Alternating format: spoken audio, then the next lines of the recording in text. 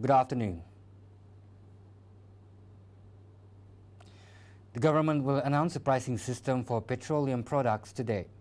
Domestic Trade and Consumer Affairs Minister Datuk Sri Saifuddin Nasution Ismail said the decision on a pricing system was made by the Cabinet at a weekly meeting chaired by Prime Minister Tun Dr. Mahathir Mohamad. Saifuddin explained that in less than 24 hours, the Ministry of Finance will finalize the prices and will inform KPDNHEP before it is announced to the public. Speaking to reporters in Kuala Lumpur, Saifuddin said the weekly float system of fuel prices, which was scheduled to take effect on January 1st, had to be delayed to study the views of gas station operators on the new pricing system.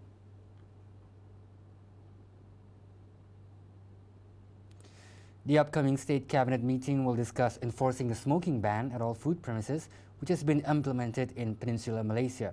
The Sarawak government has shown support for the anti-smoking move, but is of the opinion that education should be included to encourage smokers to quit.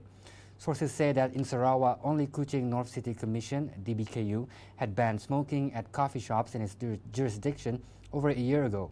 While the Sarawak Cabinet meets on the third week of this month, the Sarawak Health Department will also meet stakeholders such as coffee shop operators on January 9th to discuss the smoking ban.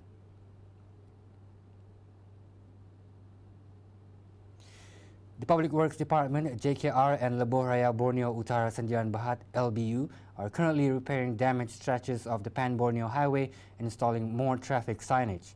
Tamin Assemblyman Christopher Gira Sambang said he had been informed by both JKR and LBU on these measures.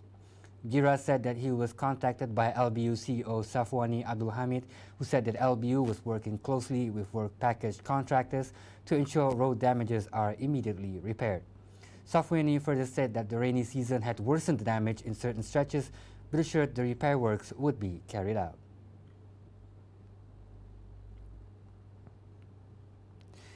That's all the news for now. I am Razi Ahmad. Thank you for watching.